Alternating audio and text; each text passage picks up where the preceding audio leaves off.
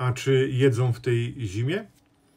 Oczywiście, że tak, słuchaj. No z racji tego właśnie, że pszczoły nie hibernują w zimie, tylko normalnie są, że tak powiem, żywe i świadome i muszą utrzymywać temperaturę w gnieździe, tak? Cały czas muszą utrzymywać odpowiednią temperaturę 35 stopni, jeżeli jest czerw, niezależnie od pogody na zewnątrz.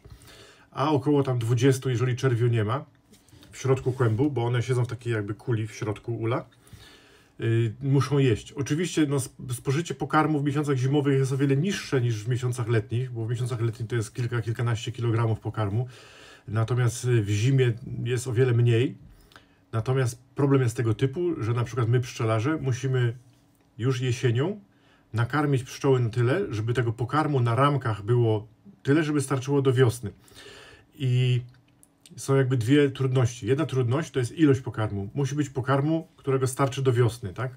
Czy to nie jest trudność, wystarczy po prostu przeliczyć sobie, ile pszczoły będą potrzebowały tego pokarmu. Natomiast drugi problem, i tu jest rzeczywiście problem, że to jedzenie musi być dostępne dla pszczół.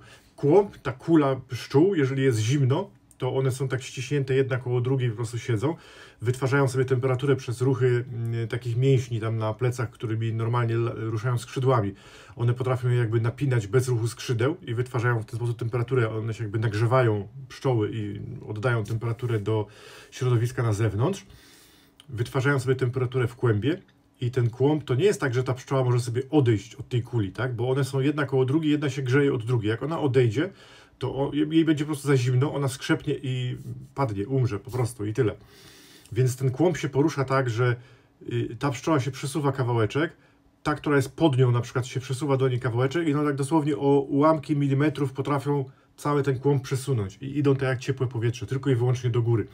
Więc czasami jest tak, że pszczelarz karmi, pszczoły padają, jedzenia jest pełno w ulu i on mówi, czemu mi padły? A pszczelarz, który się zna, jak zobaczy na ramki, zobaczy oznaki, mówi, z głodu ci padły. Niemożliwe, bo tam było 20 kilo jeszcze żarcia w ulu. Tak, tylko że na przykład było z boku i to było niedostępne dla pszczół. One nie były w stanie, jeżeli jest zimno, zim, bo jeżeli są ciepłe dni w zimie, to one mogą ten kłąb rozluźnić, mogą łazić po ulu, mogą sobie przynieść jedzenia z innych ramek, natomiast jeżeli jest zimno, nie pójdą. I tu jest właśnie problem, że często, pomimo tego, że jedzenia jest pełno w ulu, to jest ono niedostępne dla pszczół i one potrafią po prostu umrzeć z głodu.